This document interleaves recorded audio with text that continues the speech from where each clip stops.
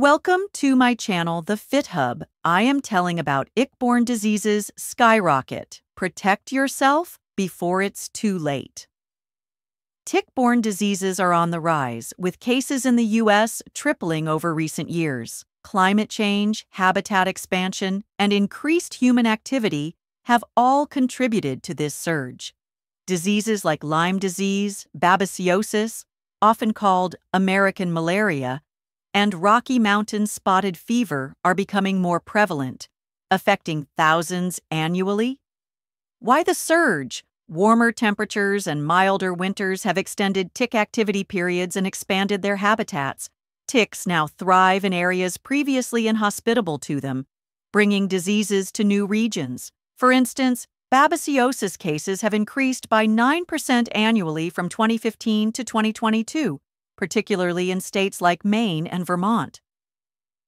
Symptoms to watch for common symptoms include fever, fatigue, muscle aches, and rashes. Some diseases, like Lyme disease, can lead to long term health issues if untreated. Co infections, such as Lyme disease and babesiosis, are also on the rise, complicating diagnosis and treatment. Prevention Tips to protect yourself Use EPA registered insect repellents containing DEET, picaridin, or oil of lemon eucalyptus. CDC wear long sleeved shirts and long pants tucked into socks or boots. Treat clothing and gear with permethrin, an insect repellent. Stay on cleared trails and avoid brushy or wooded areas.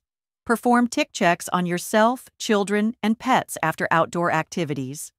Shower and launder clothes on high heat after returning indoors. Stay informed awareness is key. Stay updated on tick borne diseases and prevention strategies to protect yourself and your loved ones.